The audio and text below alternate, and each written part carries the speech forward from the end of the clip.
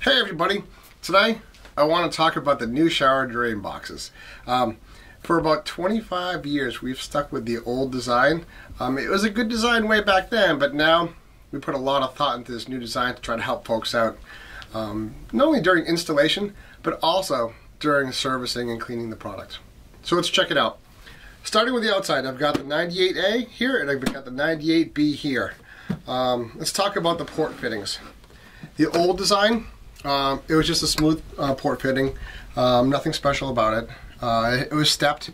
Um, the new design, um, they're all threaded. And what that allows us to do is either uh, you can use um, some three quarters, you can use one inch, you can use inch and an eighth, and you can even use the elbows up close to the ends, you'll see this little indent or this little this little line. That's a guide uh, for customers to go ahead and, and if they want to use that that port fitting or that opening, that's where they can cut. The other thing that they can do is right on the very inside, the very center, there's a drill point, and that centers the drill for the customer and makes their life a little bit easier. The other outside part or um, installation feature that we want to talk about is on the on the in the package you'll find one of those, and that's just a simple mounting foot. Um, and you can see that I've installed one here. And what that does is, if the customers don't want to use the standard rails that come with the uh, the shower drain box, they can mount this foot first, slide that right in, and then anchor it down by either the front or any of the rails on the side. That's pretty cool. I like that a lot. So, now let's go to the inside. The old design used to have four screws on top, which if you've ever tried to open one of those up in a bilge, it was a pain. Top comes off, and there you go. New design, snap fit, pops right off. A lot easier for the customer. The other thing that we've done is we put in a gasket around the outside, um, and that keeps water from splashing out while the vessel's underway. The strainer. Um, to get the old strainer out, it's kind of a hassle. Again, remember, the customer's trying to do this in a bilge. You pop it out, empty it out. For the new style, simply comes right out. You dump out the trash, and the hair and the debris, and slides back in. The float switch, that was a pain.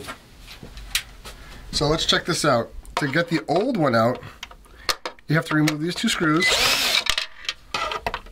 And again, remember, this is in a bilge, not on somebody's desk. There it comes out. The new design, you got two tabs on either side at the very base. All you've got to do is reach in, and pop it out. Nice, huh? To remove the pump, it's not too too too much of a change. Two tabs on either side, and it slides out. Today's pump, it's a friction fit. The whole thing comes right out. A lot easier for the customer.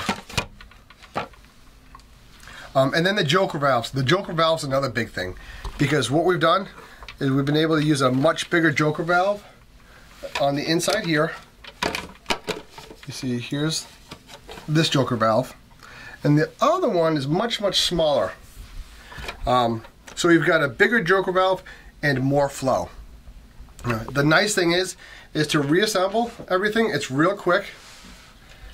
So the, choke, the check valve goes in. The pump gets snapped in. Float switch goes in. And the new lid with the rule logo on it.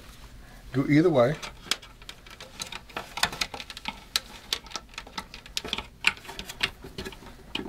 Kind of wiggle the wires into place.